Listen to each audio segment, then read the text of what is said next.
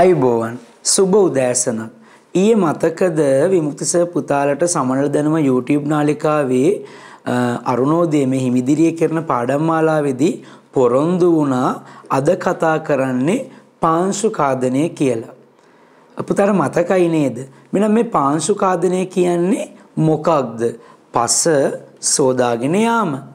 මේ පාංශු කාදනය නිසා මොනවද වෙන්නේ? අපිට පාංශුකාදනය සිදුවන්නේ කොහොමද? මේ පාංශුකාදනය වළක්වා ගන්න මොනවද අපිට කරන්න පුළුවන්? කියන කාරණා තුන ඔස්සේ ශිෂ්‍යත්ව විභාගයේදී අපිට බහුවර්ණ ප්‍රශ්නයක් ගොඩනගෙන්න පුළුවන්. අපි දැන් මුලින්ම බලමු මේ පාංශුකාදනය පුතේ වෙන්නේ කොහොමද කියලා. පුතාලා දැකලා ඇති අපේ මිනිස්සු නිතර නිතර පස පෙරලනවා. නේද? වගාවන් සඳහා විශාල මුල් සහිත ගස් විනාශ කරලා දානවා. අපි ගංගා වලින් වැලි ගොඩ දානවා.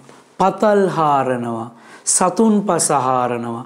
අධික සුළඟ නිසා පාංශු කාදනය වෙනවා. දැන් මැද පෙරදිග රටවල වැලි කුණාටු වෙන්න පුතේ.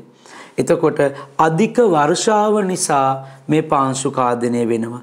එහෙනම් මේකී කාරණා නිසා කඳු බෑවුම් කපනවා නේද? බොරළු කන්දක් දකින්න බෑ, කළු ගලක් දකින්න බෑ, මෙව විනාශ කරනවා.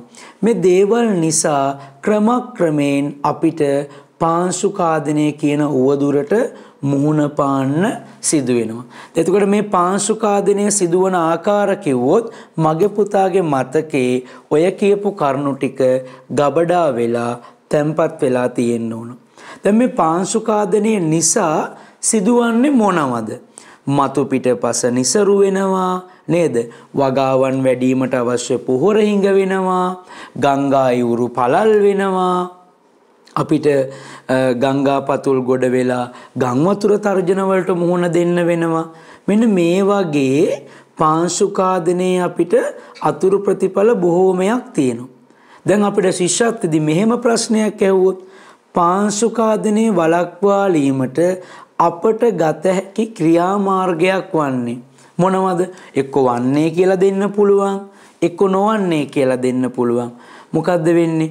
අපිට පුළුවන් භූමිය මතු පිට තනකොළ වවන්න.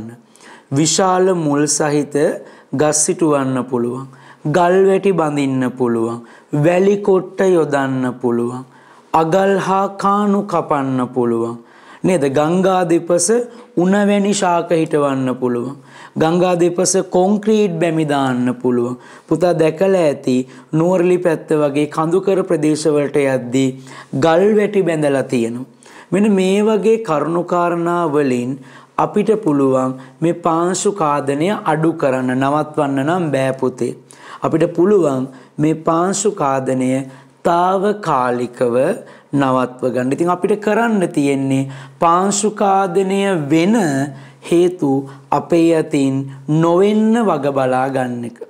පාංශු කාදනය කියන පාඩම ශිෂ්‍යත් විභාගයට මං ඔය කියලා දුන්න මාතෘකා තුන ඔස්සේ මගේ දුවල පුතාලට ප්‍රශ්න ගොඩනැගෙන්න අහන්න පුළුවන්. ඒකින්දා ඊයේ උගන්වපු සුළඟ පාඩමයි අද උගන්වපු පාංශුකාදනය පාඩමයි නැවත නැවත බලලා පුතාට විවේකයක් ලද වෙලාවට මේ කෙටි වීඩියෝ මාලාව නැවත නැවත බලලා ඔයාගේ මතකය තීව්‍ර කරගන්න. මම හෙට මගේ දුවල පුතාලත් එක්ක කතා කරනවා ග්‍රහලෝක ගැන. ඒක හරිම ලස්සන සුන්දර පාඩමක් වෙයි.